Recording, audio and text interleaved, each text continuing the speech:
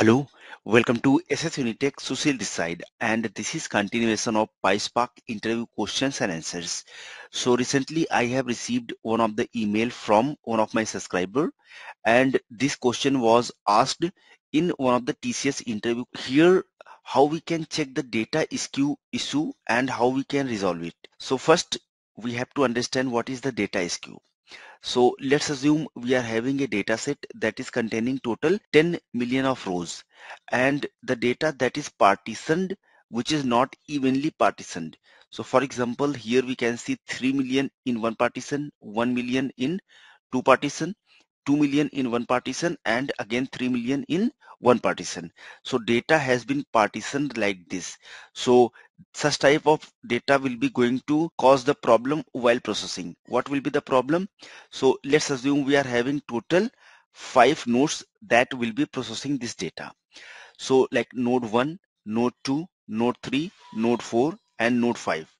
So once this partition data will be going to assign for these nodes so like node 1 will be processing 3 million of rows node 2 will be processing 1 million of rows again 3 will be processing 1 million.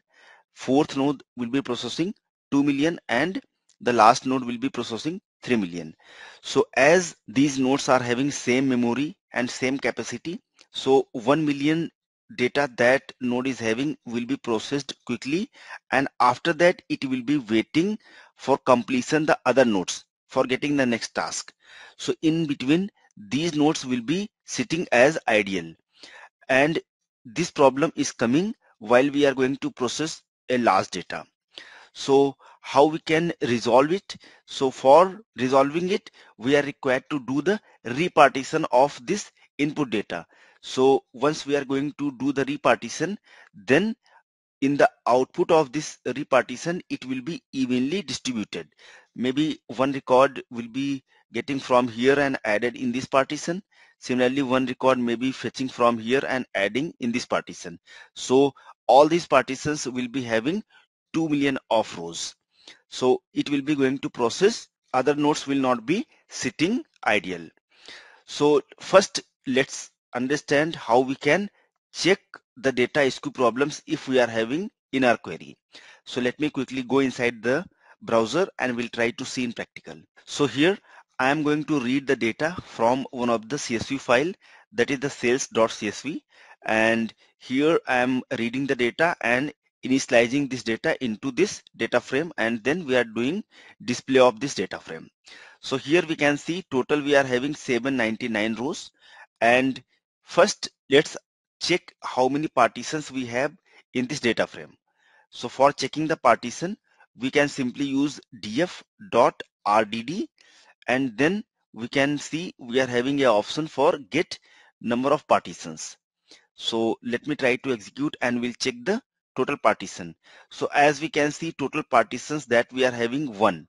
So like total 799 rows will be going to processed by a single core and that single core will be going to process number of rows and other will be sitting idle. So this is not a good practice. So first we are required to do the repartition of this and then we'll check the number of count. So for doing the repartition, we can simply go and use the df dot repartition and here I am going to create total 10 partitions out of this. Now let me try to use the df dot rdd for checking how many partitions it is having now. So we can check by using get num partitions. Now let me try to execute and we'll see the output of this.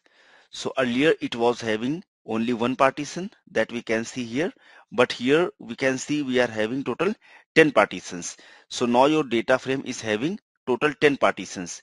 Now let's understand like on which partition how many number of rows we are having. So how we can check that?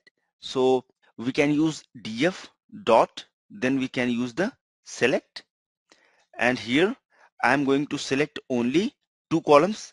The first column could be your partition name and the next how many number of rows it is having. So only two columns we will be selecting from here. So for getting the partition ID, we can use the Spark partition ID that we can see here. So we can simply use this Spark partition ID. Let me use the alias name of this maybe with partition ID. Once we'll be going to add this column in your data frame, then let me do the group on the same column. So on the group by side, we can simply specify your partition ID column and at last we'll be checking the count of this. Now let me put this into another data frame and check the display of this df1 and we'll execute. So here we can see like the first partition is having total 79 rows and remaining all the partitions are having total 80 rows. Once your run engine will be going to process this data, then it is having the evenly distributed partitions. So none of the executor will be waiting for completion the another executor. So let's recap what we have seen in this video. So first we have read the data from the CSV file. Then by using this command, we are checking how many partitions we are having on that data frame. And if we are not having the evenly distributed partition, then we are going with the repartition. So it will be evenly distributed.